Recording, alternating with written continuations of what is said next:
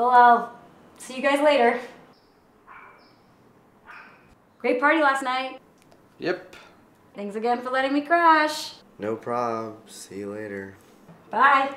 Adios. Adieu. We get it. You know a lot of languages. That's just the tip of the iceberg. Sayonara. Uh, let's do the iceberg under the water, if that's okay. oh, yeah, well, if I'm not leaving, then maybe we can hang out, you know?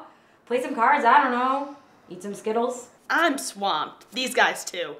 Busy, busy bees. You sure you don't want to eat any Skittles, though? I think we're good on the Skittles.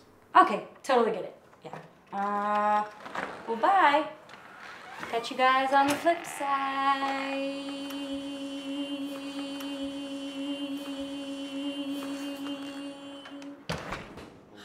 Oh, thank God I hate that girl. Does anybody even know who she is? She just lingers so long. Just lurking. Sorry, guys. Forgot my Skittles. All right, I will see you guys later.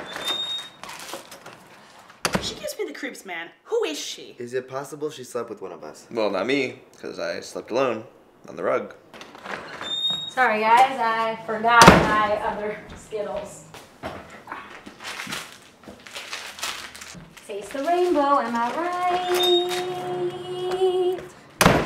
She was hiding candy in our couch. Does anyone else feel guilty that we don't know who she is? She's the guilty one. Guilty of f***ing with our minds. Does anybody feel guilty that I slept on the rug? There were no blankets. No. no. No. Oh, would you leave us alone? What?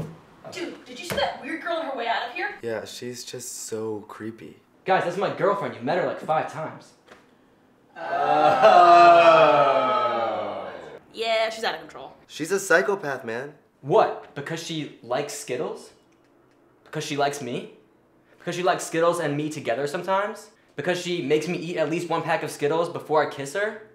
Because she stole all my stuff and sold it to buy Skittles? Because she makes arts and crafts out of Skittles and makes me hang them on my body? Because she- Dude! Wake up! She's obsessed with Skittles! I heard yelling. Is everyone okay? Does anyone want a Skittle?